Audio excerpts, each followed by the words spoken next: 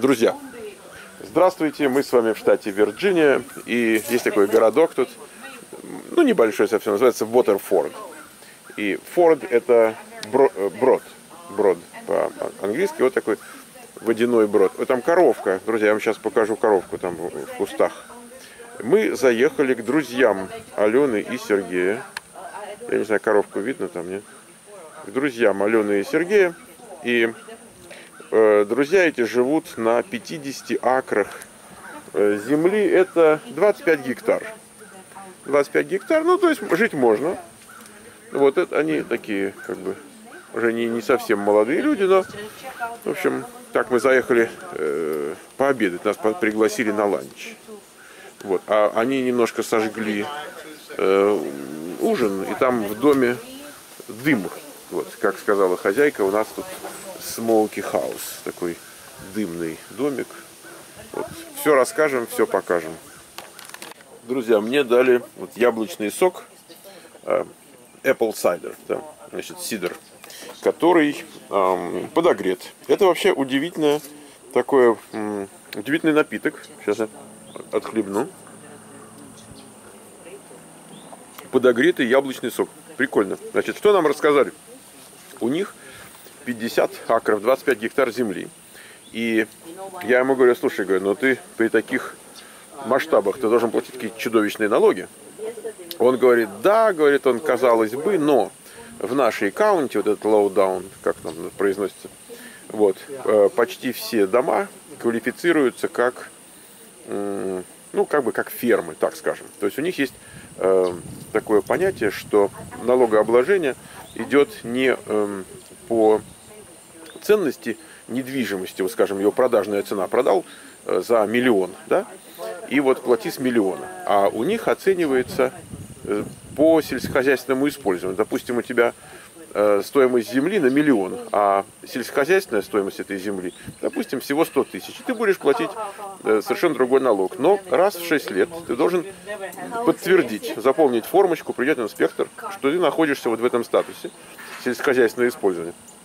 У них тут пасутся 40 коров от соседей. Значит, соседи фактически, как бы, им это удобно, потому что денег с них не берут за эту землю, что там коровы пасутся. Вот, а эти получают вместо денег, значит, налоговый статус выгодный. И это очень повсеместно здесь. Вы видите Светлану, которая беседует с хозяином дома по поводу того дома, который понравился Алене. И там был вопрос, можно ли эти 6,5 акров, например, разделить на два участка и построить что-то еще.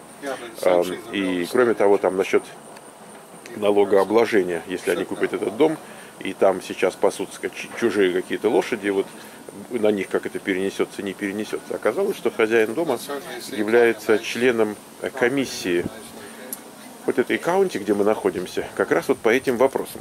И он так, он говорит, я не знаю конкретно вот в какой зоне находится этот дом, какие там правила, но э, вот разделение участков происходит так, что есть такие зоны, где один дом должен быть на акре, есть участки, где на 3 акра, и там на 5, на 10 там, и так далее. Поэтому, если, например, должен быть дом на 5 акров, а участок 6, то вы не можете его разбить на 2, там пополам получится 3, а это меньше 5. Он говорит, я не знаю, какие там у вас правила, но, в общем, вот такой идет интересный разговор. То есть хозяин дома оказался очень, как бы, знающим в этом деле человеком.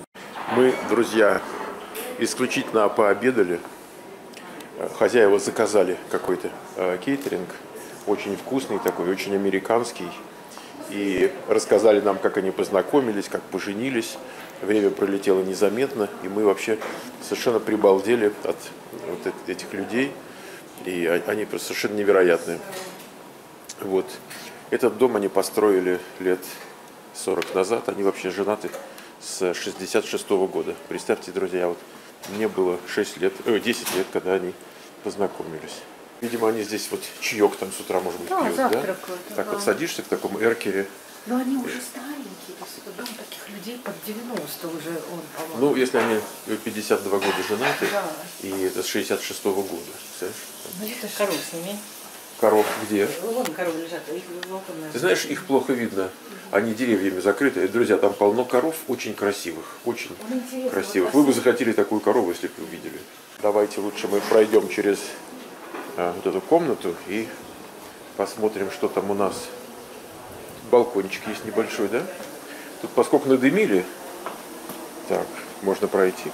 Поскольку надымили, а, тут сетка. Тут сетка, чтобы не летали мухи всякие. То, соответственно, все открыто, чтобы был э, ветерок. Такой бриз. Вот мы с вами через металлическую сетку обозреваем местность. Представляете, вот так люди живут.